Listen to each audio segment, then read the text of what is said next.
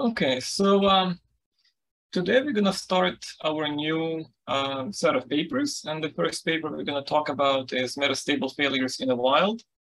Um, I happen to know the authors of this paper, so um, yeah, um, I will present this. Um, and uh, yeah, we'll go from there. So um, I guess before I go into the actual paper, um, I want to uh, briefly talk about uh, briefly talk about you know what do we want from the from the systems running in the cloud, right?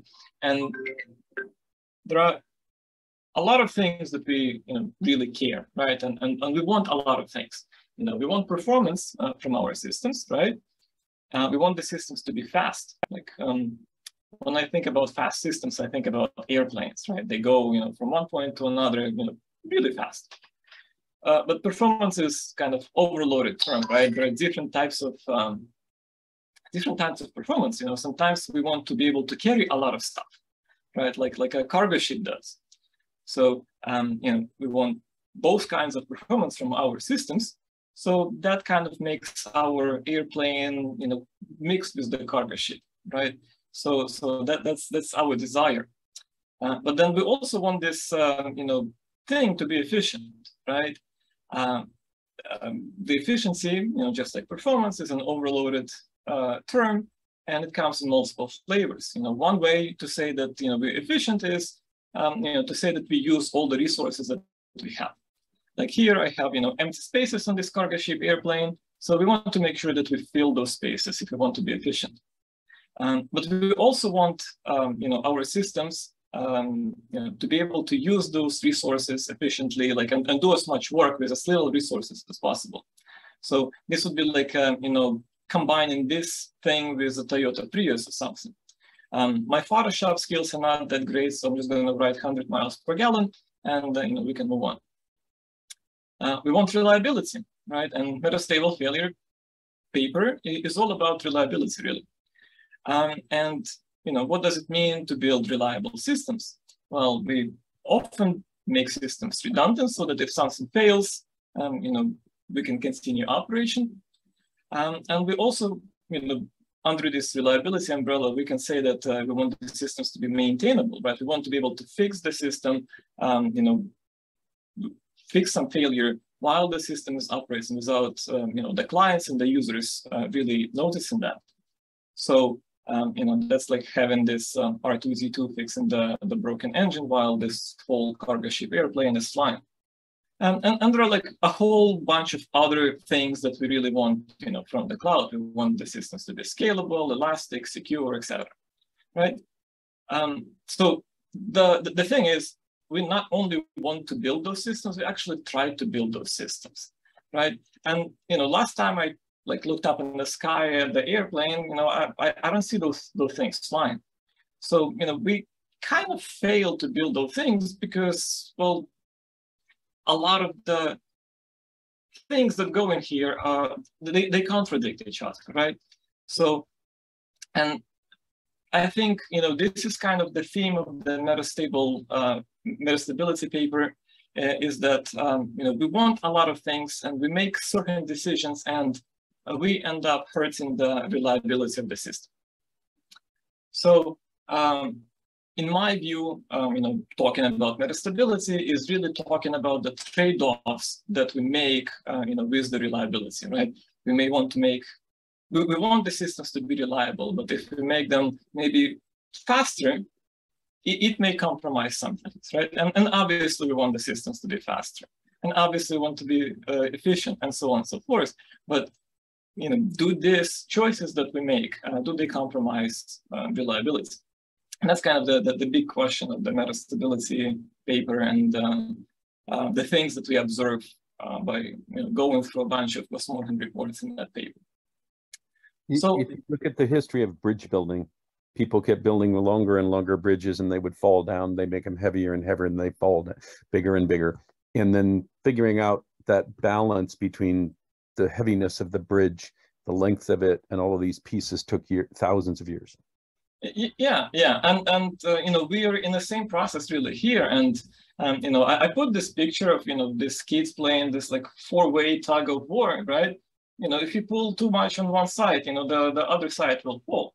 Now our job is really to replace this rope with the bungee cord, so we can pull on one side and, and, and, make it stretch without you know pushing other kids uh, over as much. Um, you know, trying to figure out those trade-offs, you know, what can we trade off without, um, you know, maybe sacrificing um, things too much for our particular use case, right?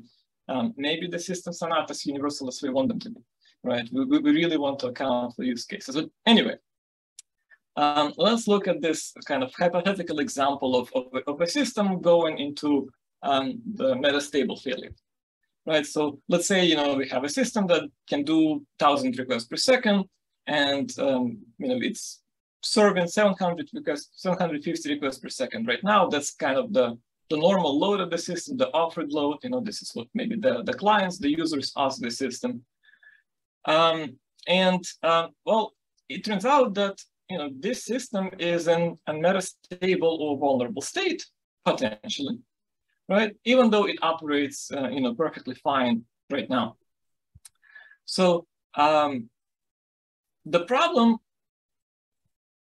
yeah, the, yeah, the problem really starts with a trigger, right? So it's something we call a trigger in, in, in the context of metastable failure paper. Uh, but, you know, this trigger is actually a failure of some sort, right? Um, you know, something fails in your system. You know, it can be like a hardware failure, software failure, or maybe even a failure of expectations, right? You maybe you have expected, you know, the load to be at, at certain level at certain time, and, and this expectation failed, right? But this failure uh, failure of a system um, acts as a trigger. And um, you know, what does this trigger do? It overloads the system right? So if we have a, a, a, substantial enough issue going on, capable of overloading the system, capable of you know taking the load above what the system and its current configuration can handle, you know, we end up in this overloaded state, which is really bad, right? So this is where engineers are going to be like trying to fix stuff, right? Um, you know, this is where um, if you have a again like the system that serves you know stuff to your users, once you enter the overloaded state, you're going to have, um, you know, this request start to queue up longer and longer, potentially timeout, potentially, you know, not return to the clients, you know, start dropping work, losing work, all kinds of stuff, right? So this is bad. And, and this is what you know, we try to fix, the engineers try to fix. So um, what kind of triggers you know, we observe uh, by like looking at a bunch of metastable, a bunch of failures in, uh, in, in the wild from, from the postmortem reports. Um, you know, why do they happen and why do they cause problems? So we identified two like broad types of triggers. You know, one type of trigger, we call it load spiking trigger, and it just takes the workload and um, you know, spikes the workload essentially, right? So it, it increases the workload. Um, this can be like uh, an unexpected workload spike, like I had in my um, you know picture in the previous slide. Uh, it can be other things like um, maybe you know workload changes. Maybe a new hotkey emerged, and you know that really changed the workload to like particular um, system, right? Um, and another type of triggers is uh, a capacity degrading trigger, right? So that would be you know server failures, network partitions, like anything that takes away the capacity of your system. Um, and um, you know this kind of the ability to handle those triggers is is, is a fundamental trade-off that, that we always kind of pay uh, when we design the systems, and that's between the you know the the utilization of our resources and the reliability of the system, right? So intuitively speaking, right, if we run a system close to its limit, then the system will have no spare capacity, no wiggle room to absorb some of the smaller triggers right? So maybe, you know, adding a bucket of water to this aquarium will, you know, cause this fish to spill over, you know, that, that, that that's bad, right? So this is, um, you know, this is, this is kind of the, the situation, right? We could not absorb uh, additional stuff. We cannot absorb those problems because we run too uh, close to the capacity. So obviously, uh, if you run not as close to the capacity, you can absorb, you can tolerate bigger fluctuations and your load and your capacity changes and so on and so forth, but you are not running as efficient. You're like wasting a lot of resources idle in a common case. Um, so, you know. Define wasting. What is it, Pat? Define wasting. Yeah. Uh, I mean, well, wasting in the sense that you're not utilizing them at the given, uh, uh, uh in, in a normal case. I well, get it, but you, you, you're utilizing them to absorb those fluctuations. Right, that's the question.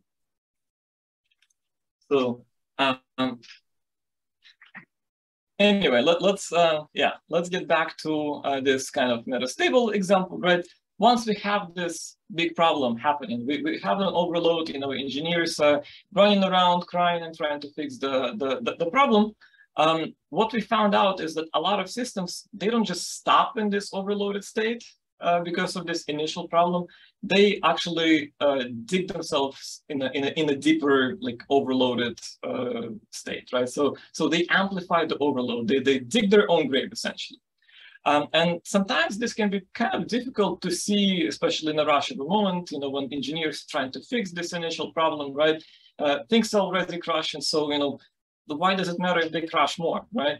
Uh, like, how do you even define that, you know, when things are bad, if things are worse. Like if you don't have good enough telemetry, it, it may be easy to miss, right? But um, you know, we, we, we have those amplification effects that uh, somehow um, overload the system uh, more and more. And just like with the triggers, we define two types of amplification effects. We have the, the workload amplification, you know, something that takes your initial workload, you know, the, the offered workload and um, you know, makes it multiply, right? Um, a good example of this is, uh, is a retry storm, right? So uh, retry patterns um, you know, will amplify, multiply the work, right? Multiply the, the request that you, you have to do. Um, another type of amplification that we see is capacity degradation. Um, and um, an example of this would be like a garbage collection, right? So if you're running your system, um, you know, maybe uh, with like a lot of memory uh, consumption under a, a, lot of memory pressure uh, because of all the outstanding you know, requests that you have to process. Um, you know, the garbage collection kicks in, it pauses the, the world, pauses the system for you know, some little amount of time. Um, but you know, this pause creates like bigger queue, more requests, uses more memory, which you know in turn will require more garbage collection and, and, and so on and so forth. So, um, you know, the more you do it, the more uh, you degrade the capacity of your system.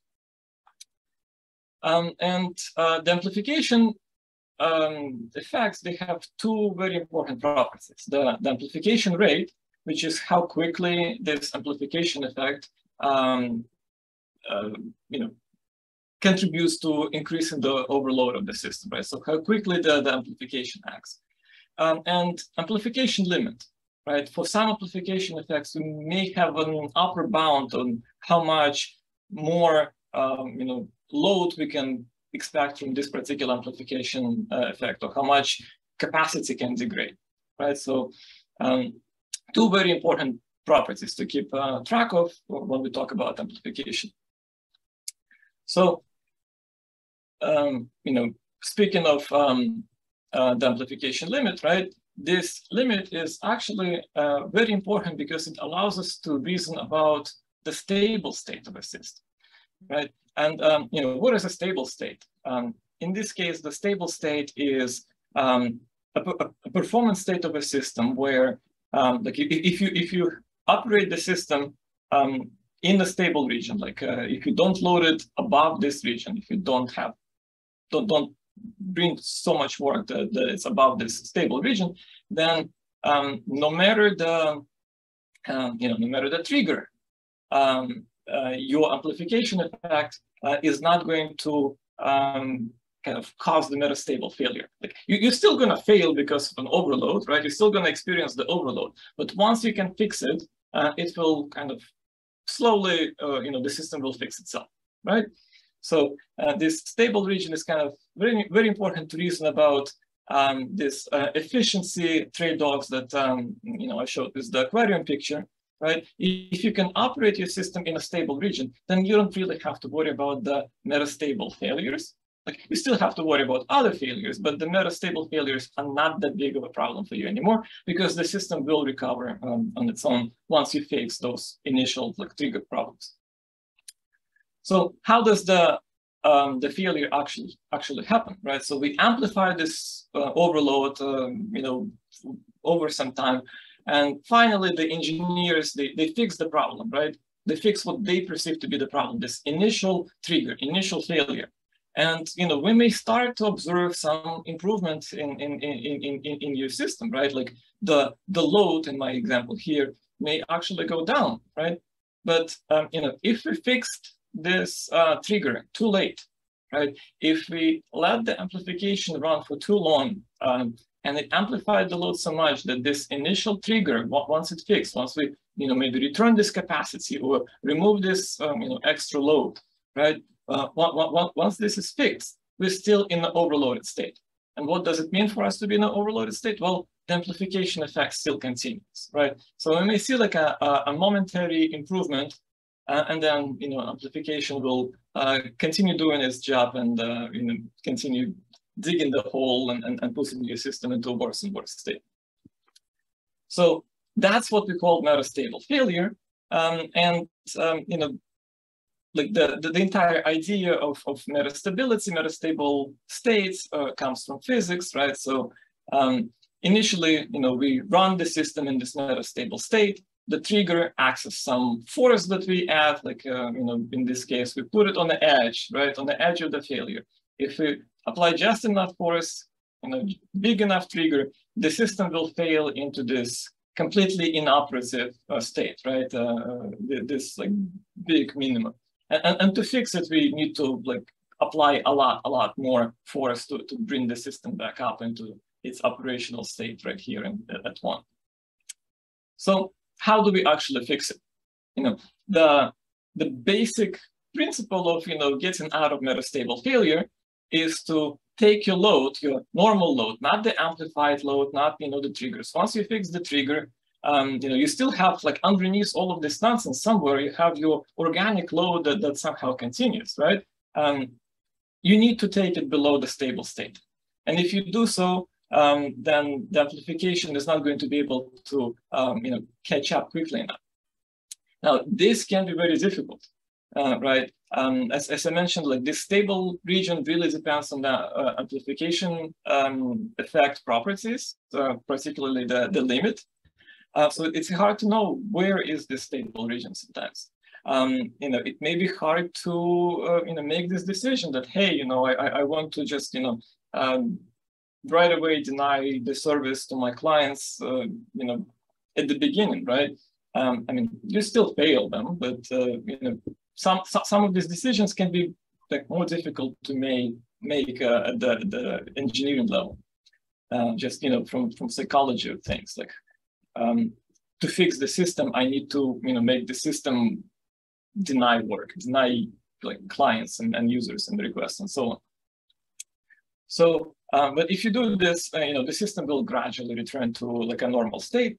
Um, you know, how gradually that, that will depend. It may take very long time. So in practice, you know, what we observed is, um, you know, people like to reboot their stuff. Like once they exhausted all the all the um, options, once they don't know what's going on, why the system is still um, overloaded, why you know things are still bad, uh, they just flip the switch right? Uh, without like realizing, you know, or, or, really knowing that it will help, but they hope it will help, you know.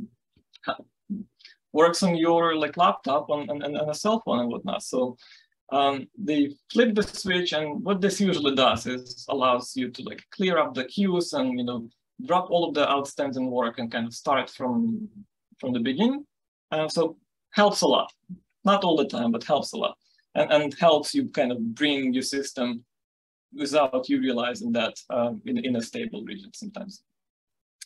So, um, you know, speaking about this um, kind of, uh, why do we end up in these amplifications? Why do we end up in these triggers? And, and that's again about uh, like a lot of the stuff is about trade-offs, right? You know, if we look at uh, retries, which was one of the most popular type of trigger that we had in the paper, you know, uh, a, a, retry mechanism is is is great, you know, for um, you know for, for some of the performance aspects, right? If you have a transient failure, a retry can hide it, so it kind of helps your availability for transient failures, right? You know, your request gets lost somewhere, you know, not a big deal. You'll time out, you'll retry, and you'll get the response back, and you continue, and you know, you can hide those small failures entirely from your clients, from your users. You know, really good. Um, not so good if your system is overloaded and every single retry you do essentially is going to get queued up somewhere and uh, at some point the system will need to figure out what to do with this request, right? Um, so you're creating memory pressure, you making, you're asking the system to do potentially repeated work and so on and so forth, right? So, you know, that's kind of a, a small trade-off you have to make, right? Um, the bigger trade-offs that we observed, uh, again, in the paper, um, you know, come from um, over-optimizing the common case, right? So if you have um, a system that, you know, works well 90% of the times and not so well and slower in 10% of the times. And, you know, and you, somehow you can guarantee that this is going to stay the same, then, well, you can provision adequate resources and so on, right? To, you know, have this fast common case and slow exception case um, and, and, and continue to operate. Um, but if something changes, if your workload changes, if you know something fails, uh, maybe this common case is, is the caching and the exception case is when the you know, there is a cache miss and the system goes to like a, a slower storage, right? So something happens. Um, the workload changes, you know, you're asking the keys that are in the cache or, you know, the, the caching machine fails, you all of a sudden have to go more to the database. Uh, well, now you're going to exercise this slow pass a lot more often. Um, and, you know, that's, first of all, that's a trigger.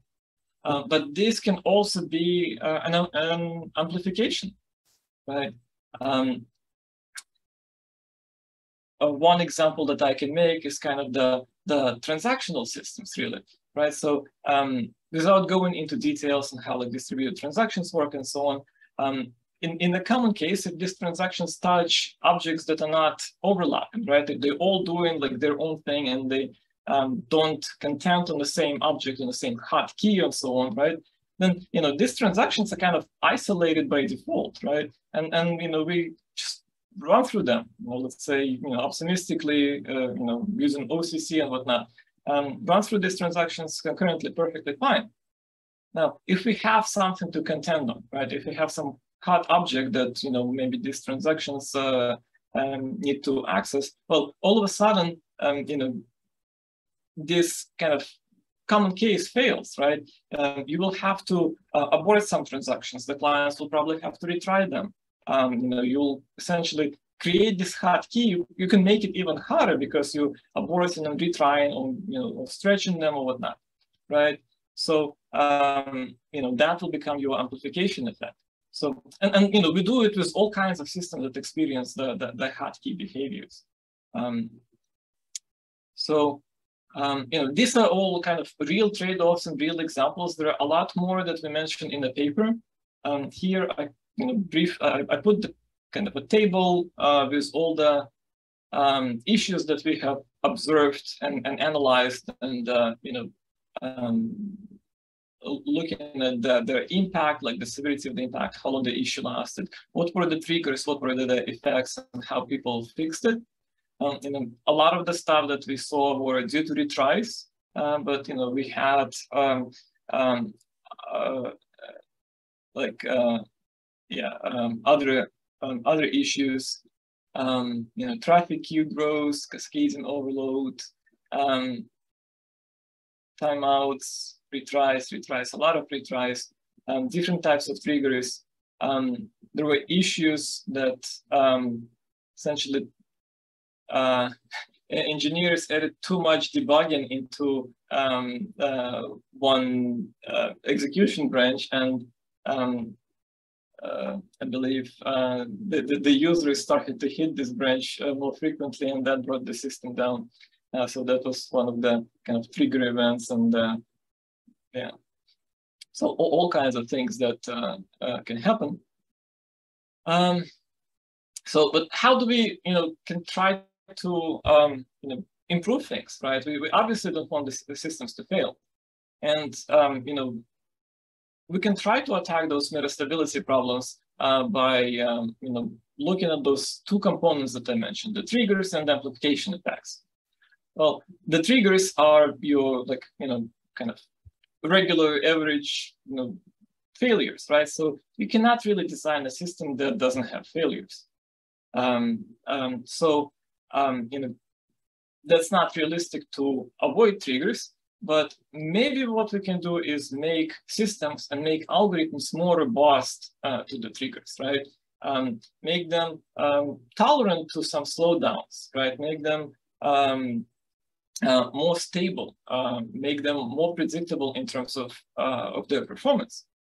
Um, so um, this paper from HotOS last year, you know, talks about like a, a common um, state machine replication uh, system. So I think it talks about a few databases and shows how you know things slow down even when you um, fail a follower node, which is you know something that not supposed to happen. Like we, we expect that you know this like leader-based systems that uh, they examined in this paper will slow down when you crash a, a leader, but you know they observed you know slowdowns when you crash a follower. You know that that's that's just I mean that's not good, right? Um, there is some.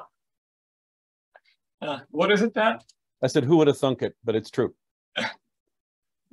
um, there is some work um, that tries to make the slow down tolerance systems, right? So um, uh, again, uh, the basic idea is, well, don't have one leader because one leader will slow you down, right? Avoid having a single leader, avoid having the, the data flow through just one channel, one pass and whatever, avoid the data to ever be in, in, in one critical place that can fail and cause you slowdowns.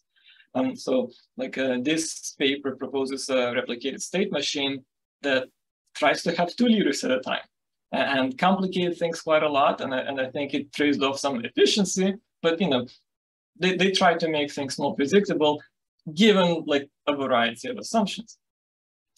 Um, so, um, and, and that's kind of what I want to see, you know, from the research really, like how can we make systems more predictable um, in the face of, you know, some of these changes, uh, predictable in the face of workload changes, predictable in the face of, you know, some minor uh, crashes and failures, right? We, we should not slow down when the follower fails. I mean, uh, th th that's just not acceptable, um, right? And and that you know comes down to making better you know systems, making better algorithms that underpin those systems. It comes down to optimizing not only the common case but also the exception path, right? You, know, you don't want to spend so much time handling errors or handling less common um, you know execution cases. Um, in one of the examples that we observed in um, metastable uh, failure paper, um, there was an example of um, Apache Cassandra cluster running at an average utilization of like 10% CPU. So, so uh, was severely underutilized cluster. Uh, but at some point in time, uh, pretty much on a timer, all of the users who interacted with this um, you know, Cassandra cluster, they uh, they were making a, some specific type of, of, of query, a specific type of request that happened to be super expensive. Like it was rare in, in their operation, but it was timed you know, on all the clients to happen at the same time and super expensive. And from 10%, um, you know, they overloaded the system outright uh, just because this, you know, kind of exception path, right? Not the common type of operation, uh, you know, overloaded the system right? It was too slow. So, you know, yeah, uh, optimize the exception paths, optimize not only the common case. Um, um, recently, I've been looking at, you know, like overall like stability, predictability, you know, maybe we can use newer technology. You know, people use kernel bypass to throw away some of the uncertainty that, you know, the kernel and, um, you know, switches between the user space and kernel space create in IO, right? And it makes for, you know, fast uh, microsecond level applications, but I think it also can make for you know more stable uh, type of, um, of software.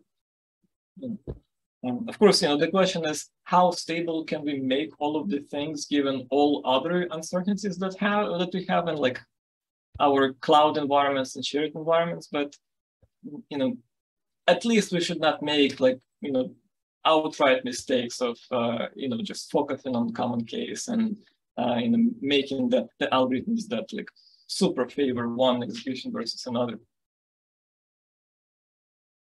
So can I make an observation? Yeah. When when I read queuing systems theory, there's a difference between an open network and a closed network. You mm-hmm. hard real time, you have to clearly do admission control, clearly yeah. have predictable execution for each st- state in the thing. And that is what you do things like fly by wire to control an airplane when you have a software system to do that. Um, so much of everything we do is just not going to work that way, yeah. like Linux and shared networks and, and, and, and, and. And so all of this becomes probabilities. All of it does. And you have Poisson arrivals. You could do admission control, but it's still all probabilities. And so the question is that trade-off of utilization and managing these things. And so we're trying to balance increasing the utilization re to reduce the cost of serve while creating systems that dampen proper, properly and don't get into this metastable behavior. And you've correctly identified a couple of wonderful techniques, which is admission control and load shedding. And that retries are just this painful thing that we just kind of have done, but they cause worse and worse behavior.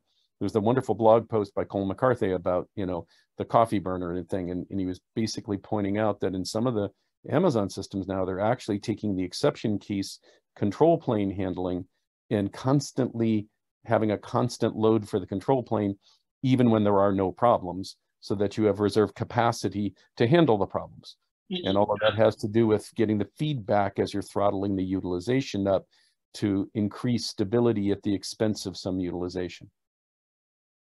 Yeah, yeah. And, well, it, it plays down into you know making things more predictable, right? which is why I love quorums. Yeah. So um, so far, you know, I kind of talked about you know making those things you know predictable and and and better to try to avoid the triggers, right? But once you know, if you're past that stage, right? Um, you know, as I mentioned, like we cannot eliminate the triggers, and sometimes you know we will not be able to, no matter what we do, I suppose, um, completely get rid of this, right? We, we will still get into the stage where some stuff may start, like the overload will start to amplify towards this metastable failure. So the second, you know, kind of line of work, um, you know, kind of, you know, things are already bad, but you know, we still need to focus on this. Is can we attack the amplification mechanisms, right? So there is one problem, of course, with attacking the amplification mechanisms is that we don't really know what they are. Um, uh, sometimes we do like retries, you know, this is an obvious one, but um, you know, there are a lot of, like, they, they can come up from, from a lot of uh, different places. Like a uh, garbage collection, maybe not an easy one to identify. Um, right, so we need to identify those feedback loops first, these amplification mechanisms. And, uh, you know, it comes with a few issues.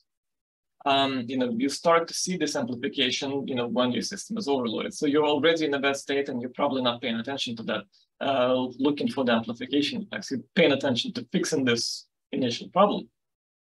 Um, there is a lot of noise that's going to be in, in, in production systems, right? How so? How, you know, is what you're going to see uh, going to be an amplification uh, effect of some sort, or maybe something else going in the system. Someone else is messing with something else. You know, uh, the the, the, the workload changes, you know, users coming and going. So how do we like deal with all the noise and try to identify those amplification things that happen?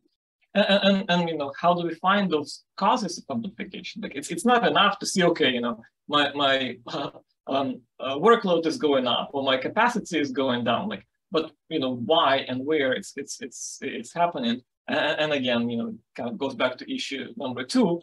There is a lot of noise. Very hard to make those uh, correlations. Um, but if we somehow know manage to, to to know what amplification effects we have you know there are really three options we can eliminate the loops, we can control the maximum amplification, right?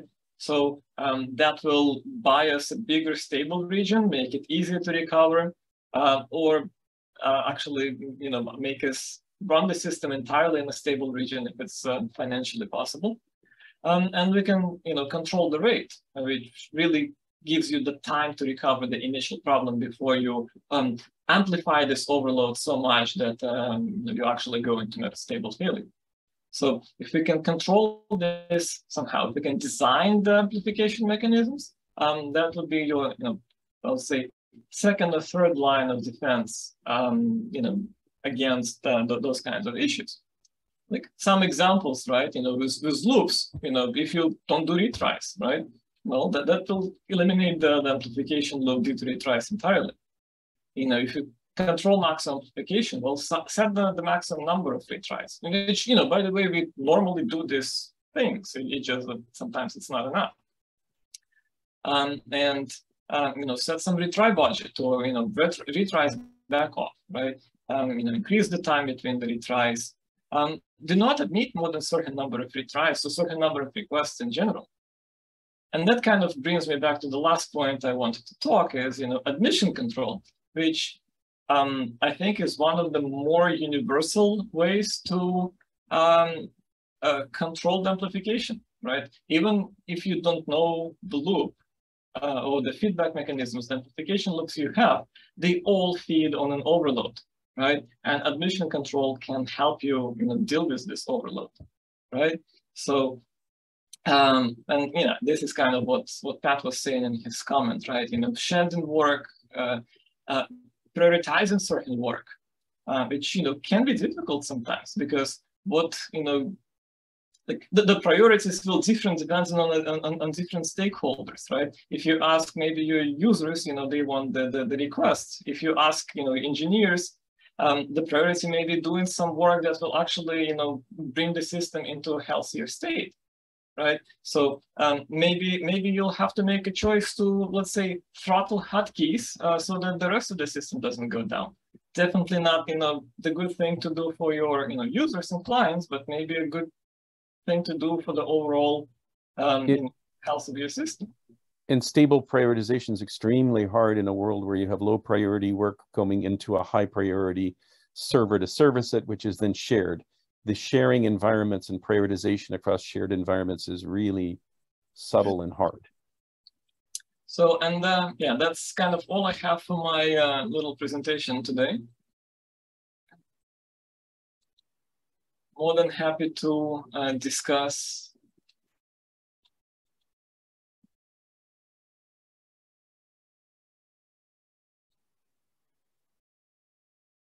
Any questions, comments? Question. So is admission control the solution?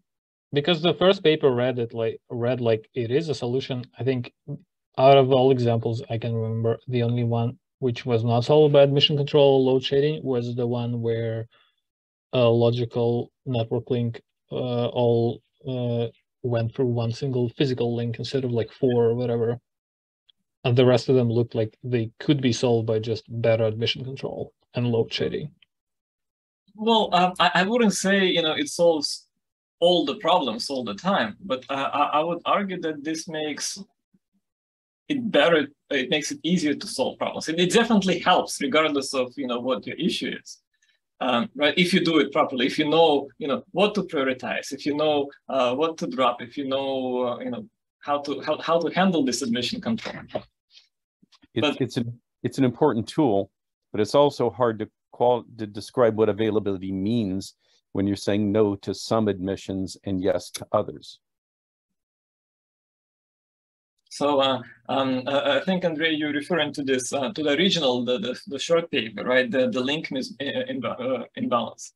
And um, well, you know, the, the problem there was, uh, you know, it, it, was a bug in the code, right? Uh, and you know, you could technically, you know, start, you know, denying the request uh, if you had some kind of admission control mechanism. You know, will it fix your amplification? No, it will, not fix your bug, right? Um, but if you fix the bug and apply this admission control you know, essentially admission control is what you have to do at the end anyway, because you'll have to stop as much work as possible, uh, you know, for your system to restart. I mean, it was a performance bug, but as far as innocent correctness was not violated. It's the same like what if your all, all your sorts are magically turned into bubble sort? That would be a bug, but the correctness is still there, right? Yeah. Uh, and obviously the performance of your system will degrade significantly if that's the case, that the bubble sort. So there is another question in chat that's a loaded question, right? What systems today um, in, I guess, my opinion, come closest to taking prevention of metastable failures into account. Um, I think we're getting better, like overall, maybe even without realizing, you know, the, the, the whole like scope of the problem. Um, but um, kind of, again, an, an, example from the paper, right? Uh, we tried to crash um, maybe I should stop recording this.